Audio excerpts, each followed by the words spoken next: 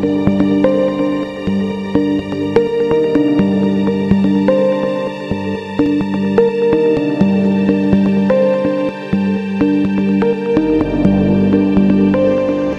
sind da in der Nähe von Anna Bay in den Stockton Dunes.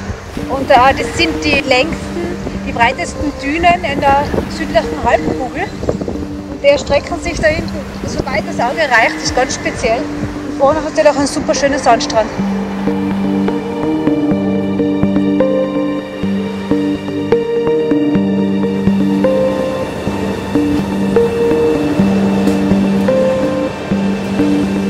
In einer Welt großartiger Naturwunder gibt es nur wenige, die so unerwartet und surreal wie die Stockton Bight Sanddünen sind. Wie ein goldenes Meer erheben sie sich vom naturbelassenen Strand.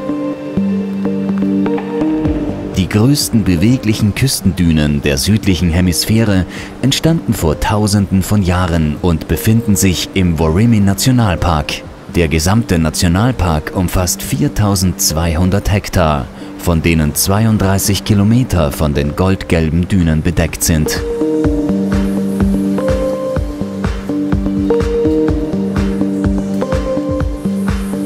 Die Sandberge erreichen beeindruckende Ausmaße.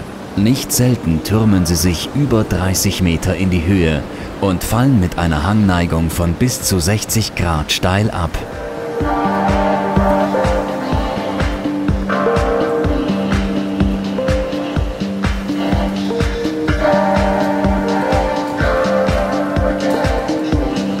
Wenn man die Dünen in einer ganz besonderen Stimmung erleben möchte, sollte man den Sonnenuntergang wählen.